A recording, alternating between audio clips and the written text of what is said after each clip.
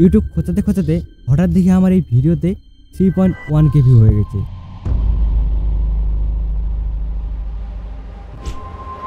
তো আমি ভাবলাম, যাদের নিয়ে এই ভিডিও, তাদেরকে একটু খুশি করার চেষ্টা করি।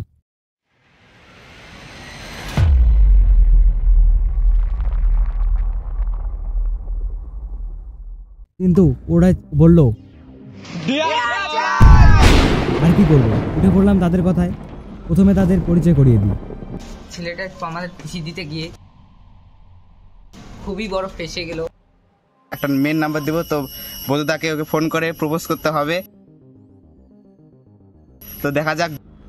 দেখলাম যে নবদের বাড়িতে এখনই ওর কুকুরটা আসলো। তো ফার্স্ট ডেয়ারটি ছিল। আমরা তোকে এই গামছাটা দিয়ে চোখ বেঁধে দেবো। তো তোকে আমরা পিছন থেকে মারবো। তুই যদি ঠিক গেস করতে পারিস তাহলে তুই বেঁচে গেলি। আর পূরণ করতে না পারলে পানিশমেন্ট এভাবেই চলল একের পর এক।